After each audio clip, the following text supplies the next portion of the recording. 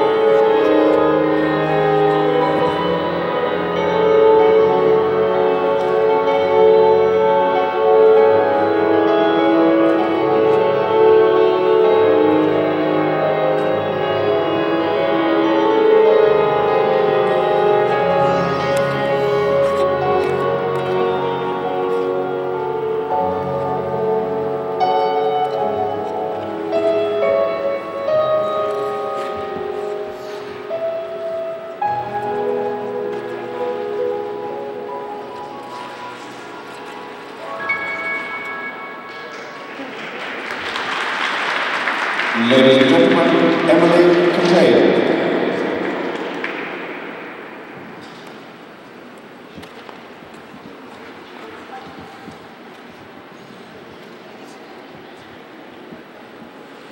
The next competitor, representing the Thornhill Skating Club.